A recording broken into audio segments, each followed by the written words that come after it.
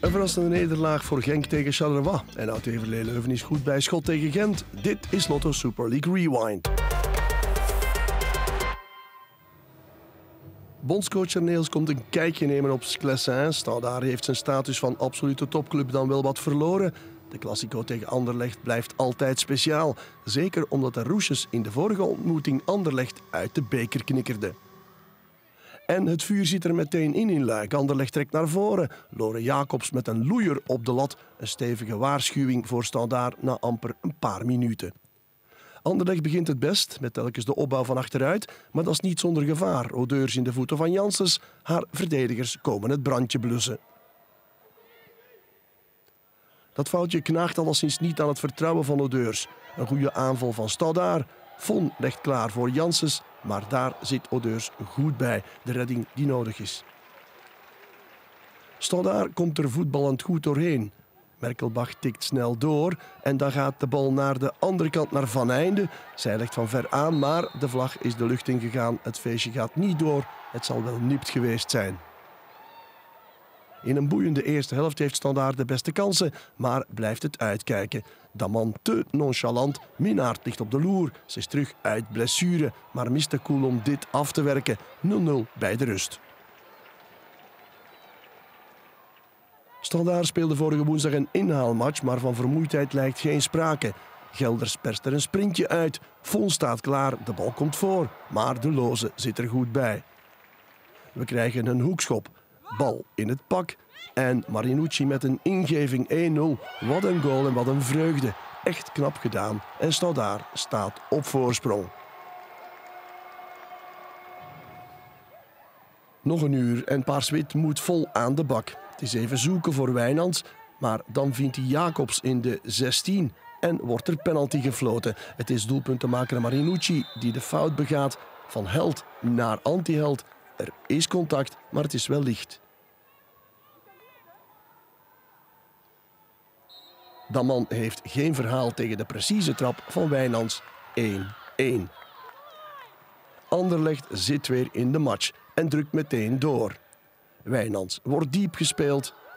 Oog in oog met Daman, maar de doelvrouw redt. We krijgen een hoekschop voor Anderlecht. En daar komt de bal tegen de hand. Weer penalty. Het is de hand van Cordier. En dit keer is de 11 meter voor De Neve. Zij doet dat met veel overtuiging. Een penalty op zijn Ronaldo's. Hard en hoog. Top. We trainen daar niet veel op. Uh, ik denk dat de Neve gewoon een fenomenale traptechniek heeft. En uh, dat dat vooral daar uh, ja, van toepassing is. En dat ze ook ja, door haar ervaring ijzig kalm was. In het slot zoekt daar toch nog de gelijkmaker. Goeie hoekschop van Gelders, maar de bal gaat net naast. Uitblinkster Gelders jaagt haar ploeg naar voren, maar dan laat ze zich betrappen op een fout. Het kost haar een tweede gele kaart en dat is problematisch voor Standaard. De beste vrouw op het veld mag iets vroeger dan al de rest gaan douchen. On a bien commencé le match, on est resté calme. Sur la fin, ben voilà, on, était, on, termine à 10, donc on est un peu plus nerveuse. On essaye de, de pousser et d'aller marquer le, le, deuxième, mais ça ne s'est pas fait. Tu trouves que Sandar avait mérité un point Je pense qu'on méritait quand même au vu des occasions. Je pense qu'Anderlecht n'a pas été euh, réellement dangereuse par sur deux occasions pendant le match. On les a laissés euh, jouer, mais sinon en fait euh, c'est deux phases arrêtées et on, on prend deux buts, donc je pense qu'on mérite au moins un point. Ook de allerlaatste kans gaat er niet in. Merkelbach besluit naast en Stadaar verliest. Bij Anderlecht beseffen ze wel dat er nog werk is, ondanks de drie punten. Het is al vaker gebeurd dit seizoen op achterstand komen en dan pas wakker worden of dan pas zelf beginnen scoren. Ja, daar maken we een slechte gewoonte van. Hè. We hebben het al vaak aangehaald dat, uh, dat we altijd een bepaalde wake-up call nodig hebben precies om, om ons beste niveau boven te halen. Dus uh, we weten dat dat een werkpunt is, hè, omdat je, je kan dan niet elke wedstrijd rechtzetten. We hebben de, dat in de beker gemerkt dat, dat het soms fataal kan zijn. Maar ik ben vooral blij met, met de teamprestatie hier. altijd een moeilijke wedstrijd en ja, super blij met die drie punten. De vlam zit meteen in de pan bij Leuven-Gent. We zijn amper een half minuut bezig als de koppen van Van Kerkhoven en Lien tegen elkaar gaan. Iedereen stopt met spelen en verwacht een fluitsignaal, maar dat komt er niet. De truier muist er vandoor en trapt Leuven zo vroeg op voorsprong. Bij Gent begrijpen ze er niks van. Ook aan het tweede doelpunt hangt een vreemd geurtje. Janssens knalt de bal tegen de scheidsrechter aan. Die legt het spel niet stil. Janssens dan maar naar Van Kerkhoven en zo komt Leuven op een dubbele voorsprong. Bij Leuven begrijpen ze het ook niet helemaal. De arbitrage maakt hier niet zijn beste beurt. Het probleem is, je werkt een hele week naar één wedstrijd toe met een bepaald gameplan. En na 30 seconden mogen het in de vuilbak smijten. Als je dan hoort met de rust dat de scheidsrechter toegeeft dat hij fout is, ja, Na de 2-0 houdt OHL de controle. Sporadisch komen ze wel nog eens tot een kansje, maar niks waar Maas zich druk over dient te maken. We gaan met 2-0 de rust in. Ook in de tweede periode zien we vooral controlevoetbal van Leuven. Gent komt er niet aan te pas en het is wachten op een volgend doelpunt. Op het uur is dat voor de truier het geval met haar tweede van de avond. Mooi binnengekruld voor 3-0. Vijf minuten later komen ze er weer goed uit. Jill Janssens nu met een mooie actie. Ze legt pan klaar voor Kranshoff. En de invalster zette 4-0 op het bord. Janssens is onvermoeibaar. Ze blijft de rechterflank afdwijlen. Strakke bal in één tijd voor doel. En Van Dijk hoeft de bal maar binnen te lopen. 5-0 voor Leuven en een hat-trick aan assists voor Jill Janssens. Kent kwaliteiten. Um, ik denk dat dat heel belangrijk is en ze speelt die ook vandaag weer goed uit. Ik denk dat dat gewoon heel belangrijk is dat, dat deze groep kent of weet wat ze wel kunnen, wat ze niet kunnen. Een waar doelpuntenfestival voltrekt zich in Leuven. En ook de Buffalo's willen hun graantje meepikken. Het schot van Bosteels wijkt af en ploft over Evraar in doel. Het eerste tegendoelpunt voor Evraar als gouden schoen. De voorstelling is nog niet gedaan. 10 minuten voor tijd gaat Van Dijk neer in de 16. En de ref wijst terecht naar de stip. Van Dijk zet de strafschop feilloos om. 6-1, dat is ook de eindstand. Een overtuigende zege van Leuven tegen Gent. Gent is nog een jonge, jonge ploeg, maar dat wil niks zeggen. Zij kwamen hier heel gedreven aan. En uh, ja, het was gewoon belangrijk om uh, snel een doelpuntje te, mee te pikken. En als dat gebeurt, dan, ja, dan waren we vertrokken. Er zal allicht nog veel nagekaart worden over die eerste twee doelpunten, ook al wil ze er achteraf bij Gent niet te lang bij stilstaan. Mensen die de wedstrijd gezien hebben en wij zelf uh, weten wat er fout is gegaan en wat niet. Dus dat pakken we zeker mee naar volgende week, want volgende week moet het wel echt uh, boem erop zijn tegen Aalst. Vrijdagavond nam Genk het op tegen Charleroi, de derde tegen de voorlaatste in de stand. Genk eist het balbezit op, maar de eerste kans is toch voor de Carolo's via Dyer. Aan de overkant steekt Genk de neus aan het venster, maar besluit Duisters op aangeven van Van Aanrode naast. De volgende kans is opnieuw voor Duisters, maar het lukt alweer niet. En ploegmaat Wielox kan de rebound ook al niet scoren. Dubbele mogelijkheid voor de thuisploeg. Eén minuut later is het dan wel raak. Wielox kan in twee tijden P3 bereiken en die verschalkt doelvrouw Delvaux. De thuisploeg trekt dit elan in het begin van de tweede helft nog door. Er is veel goede wil, maar behalve een afstandsschot van Van Zijr dat naast gaat, levert het niet veel op. Halfweg de tweede helft zijn we intussen en Charleroi verrast met de ingevallen Duterne die een vrije trap van Serre binnenkopt.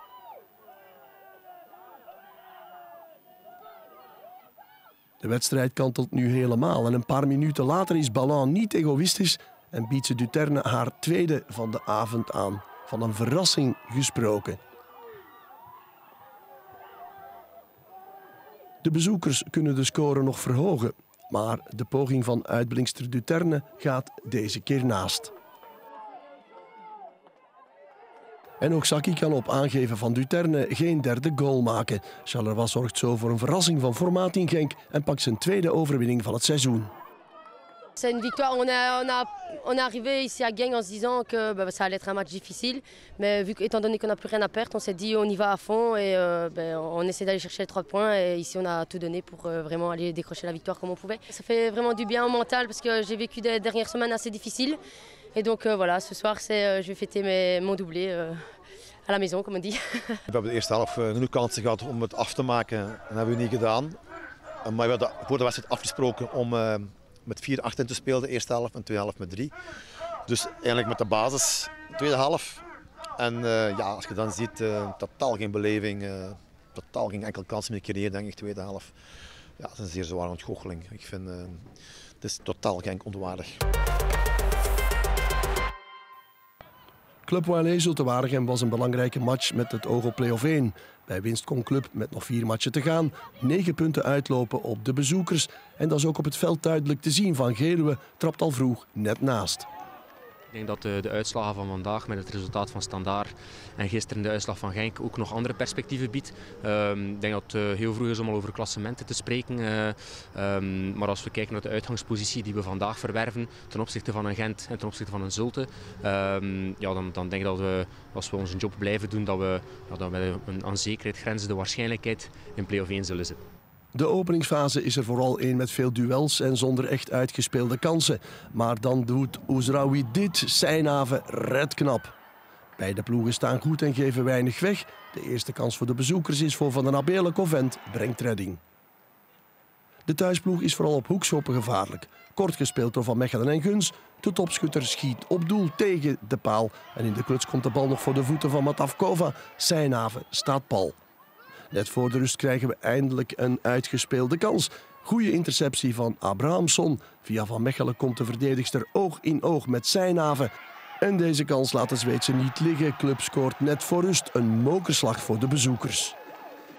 In de rust hebben we daar ook wel wat aandacht en energie moeten in stoppen, omdat ja, de dames wel ontgoocheld waren als ze de kleedkamer binnenkwamen. Uh, maar dat is logisch, want uh, we hadden het gevoel dat de wedstrijd aan het kantelen was in ons voordeel. Uh, de eerste 10, 15 minuten hadden we het iets lastiger, maar daarna hadden we het evenwicht wel goed hersteld, kregen we zelf een aantal kleine kantjes. En dan als je het gevoel hebt dat je beter in de wedstrijd komt, kom je net voor de rust 1-0 achter en, en, dat is altijd ja, zwaar om, om dat te aanvaarden. Kort na de pauze krijgen we het moment van de wedstrijd. Bloementaal speelt de bal te kort terug op zijn haven. Van Mechelen profiteert, maar het doelpunt wordt afgekeurd voor buitenspel. Het is een beetje een kantelpunt in de wedstrijd waar, uh, waar, uh, waar er eigenlijk een, een, een, tweede doelpunt, of toch een grote kans op een tweede doelpunt, ten onrechte wordt, uh, wordt afgevlacht. Ik denk dat iedereen hier wel gezien heeft dat die bal van, van de tegenstrever komt en dus niet van, van een speler van Club Wailé. Ja, als je die tweede maakt, dan zit je op rozen en dan kan je, kan je die match doodmaken en speel je die gewoon uit. SCV zet nog druk op de Brugse defensie, maar geeft daardoor ruimte weg in de rug. Van Mechelen trapt, zijn na verred. En zo eindigt de wedstrijd op een 1-0 overwinning voor club, dat voor het eerst sinds 10 december nog eens de 0 kan houden.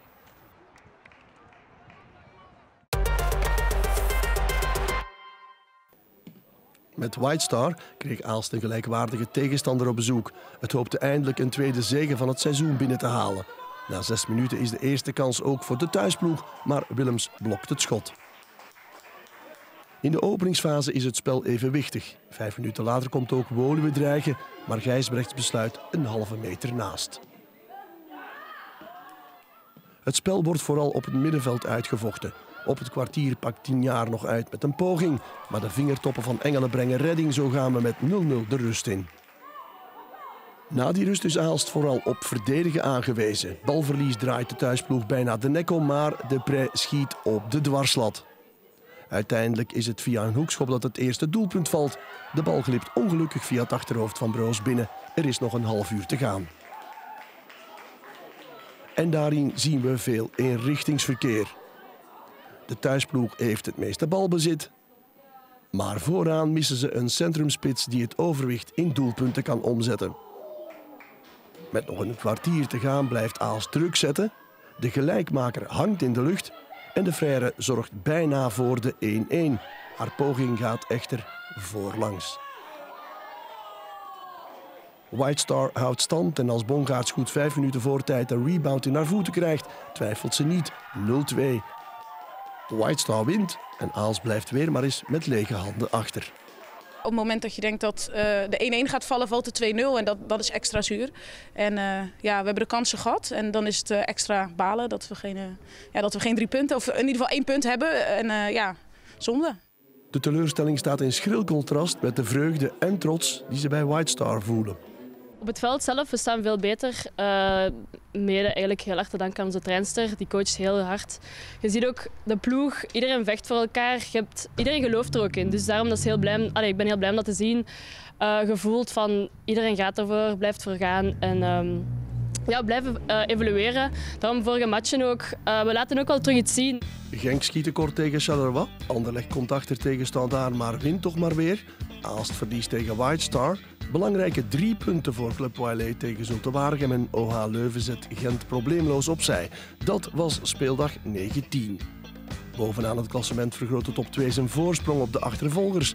De strijd voor plaatsen 4, 5 en 6 blijft spannend. White Star nadert SCV en Charleroi beent KV Mechelen bij.